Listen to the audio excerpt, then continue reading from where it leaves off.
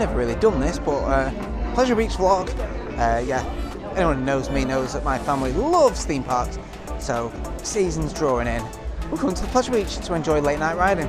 Got big man with me, um, and yeah, we're gonna go and ride some rides. So with an advertised queue time of 45 minutes, we're heading to Nickelodeon Streak, just behind me, in Nickelodeon Land, here at Blackpool Pleasure Beach.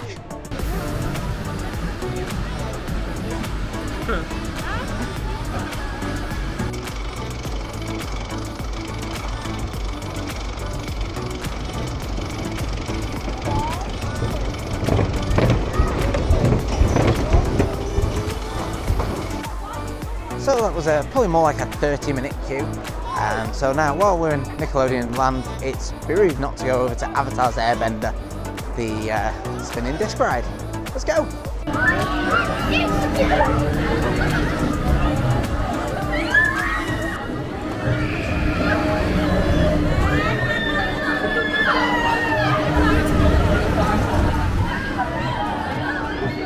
So after going to Chessington earlier in the week, and we were like, yeah, yeah, Cobra's loads better than Airbender because it's got the extra section. But actually, after just riding on Airbender, we think that it spins faster than Cobra.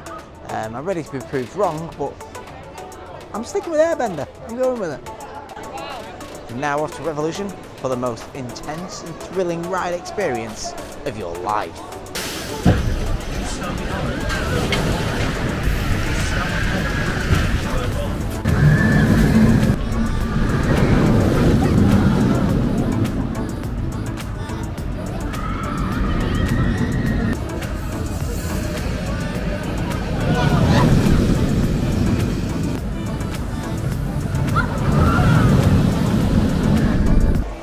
Tried to get an icon um, because Oliver is right on the limit, but he was just, and I'm talking a pair of socks might have done it.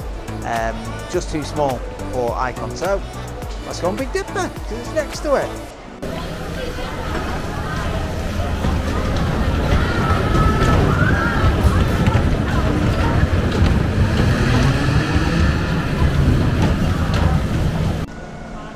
One of my favourite things about Blackpool Pleasure Beach is the little cubby holes because it is so ride intensive and everything's sort of on top of each other.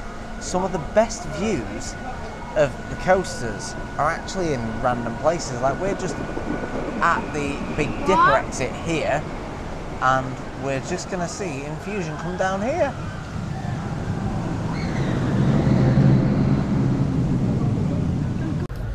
Well, it wouldn't be a trip to the pleasure beach without a go on the flying machines.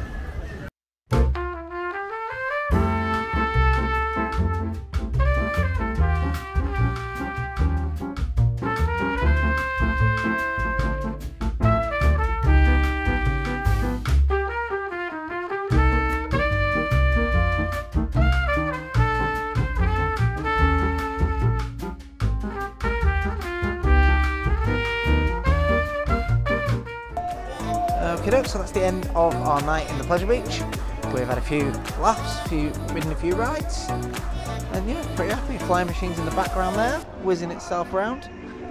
And uh, yeah, so thank you very much for joining, and I'll see you next time.